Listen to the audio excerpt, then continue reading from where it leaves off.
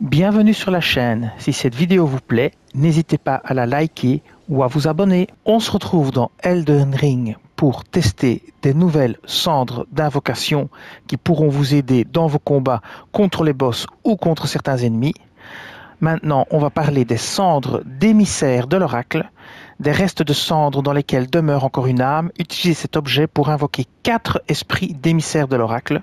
Esprits d'une monstrueuse troupe de musiciens versés dans les arts sacrés. On raconte que lorsqu'un émissaire de l'oracle se manifeste jouant de sa flûte, cela présage de l'avènement d'un nouveau dieu ou d'un nouvel âge. Je vais vous montrer ça tout de suite. Alors nous sommes en New Game plus 1, ce qui veut dire que les ennemis font 50% de dégâts en plus et ont 50% de vie en plus.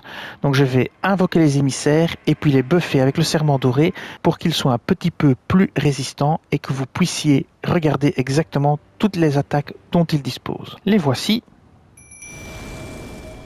Je les buff Je vais aller tuer les deux du fond, enfin même pas. Je vais simplement attaquer le géant, on va voir.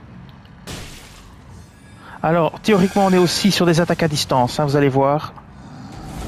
Donc c'est à vous de garder le focus de l'ennemi sur vous.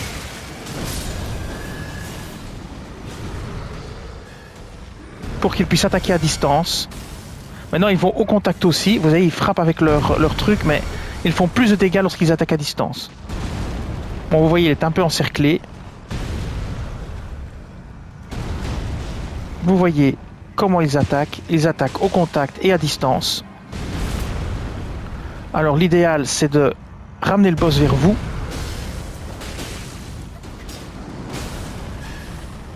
Pour qu'ils puissent tranquillement lancer toutes leurs attaques de bulles.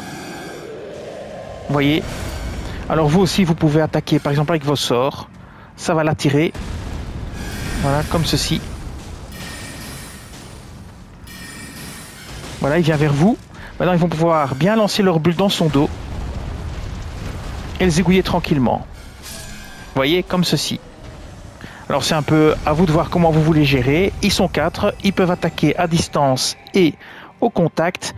Mais si vous les maintenez dans le dos de l'ennemi et que vous, vous attirez l'ennemi vers vous, ce sera bien plus efficace que si vous les laissez aller au contact, surtout que là, ils prendront beaucoup de dégâts et donc ils mourront bien plus vite. Et bien voilà, ce sera tout. Je vous dis merci et à bientôt pour d'autres vidéos sur Elden Ring. Cette vidéo s'achève ici. Je vous dis merci et à bientôt sur la chaîne.